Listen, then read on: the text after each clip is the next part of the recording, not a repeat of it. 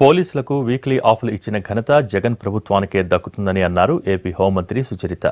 Drugs white collar నేరాలను అరికట్టాలని సూచించారు. మంగళగిరి ఆరవ పోలీస్ బెటాలియన్లో ఇవాళ డీఎస్పీల పాసింగ్ అవుట్ పెరేడ్ జరిగింది.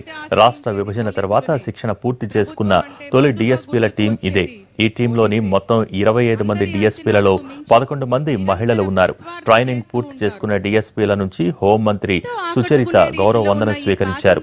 వృత్తిపరమైన సవాళ్ళను అధిగమించి ప్రజాసేవ దిశగా ముందుకు వెళ్ళాలని పిలుపునిచ్చారామె గ్రామీణాభివృద్ధిలో కీలక పాత్ర పోషించాలని సూచించారు.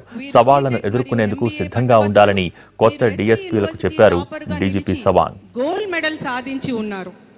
ఉన్నతాధికారులు సాధ విధి నిర్వహణలో అనేక సవాళ్ళు అడ్డంకులు ఎదురవుతూ ఉంటాయి. వాటన్నిటిని విజయవంతంగా ఎదుర్కోవాలంటే ధైర్యం సంకల్పం మరియు ఉన్నత విలువలతో వ్యవహరించవలసినటువంటి అవసరం ఉంది. మన జనాభాలో డెబ్బై శాతం ప్రజలు గ్రామీణ ప్రాంతాలలో నివసిస్తున్నారు.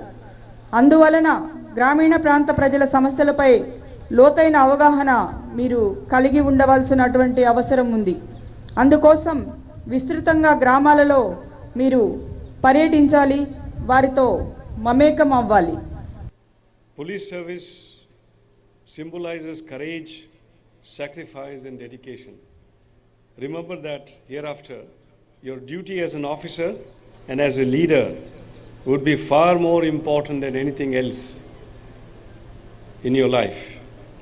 You must maintain highest standards of professional excellence, integrity, and honesty.